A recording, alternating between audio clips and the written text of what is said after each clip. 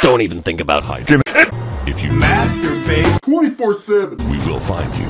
The police. Are stepping up enforcement and cracking down Why, cuz? like never before. Bitch. Have you been jacking off?